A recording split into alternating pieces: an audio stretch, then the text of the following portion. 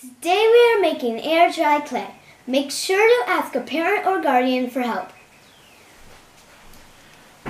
When you're making your air dried clay, you will need a full cup of baking soda, a half a cup of cornstarch, and a half cup of water. Make sure to be responsible and clean up all your items. Let's get started. First, you'll mix your ingredients over medium heat. Make sure to mix it till it looks like mashed potatoes.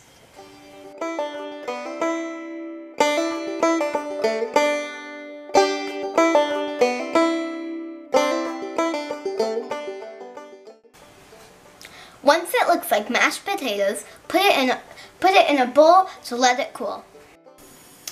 When it's cool to the touch, you can start kneading it. When it's smooth, you can make anything you want. Once you're done with your creation, let it dry and then paint it any color you want. After you're done painting your creations, you can ask yourself these questions. Bye for now.